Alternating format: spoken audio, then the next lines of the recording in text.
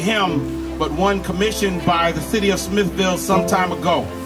And given what our city, our nation, our world now faces, it is his hope that this hymn reminds us of our miraculous gift, the gift of life itself, the sole reason for the creation of the work. This is a hymn not for a school, a state, an organization, or a country, or hymn for any other reason, but for that of all humanity. This is a hymn for the world. Trepidation, all the angst, hold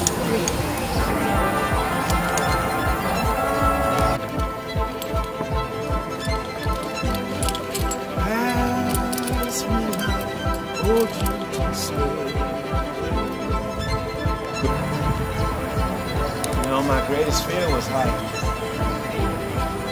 But when the, great, when the Creator gives you something to do, you have no fear.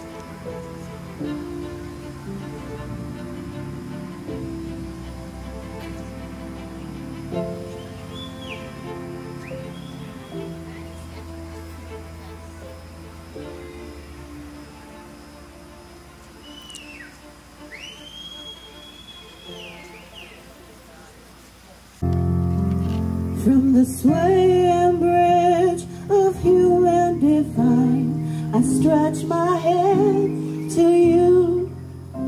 No longer to fear the rhythm of truth. We suffer, I will too. From the deep wells of a sacred love, from the earth is the mother of the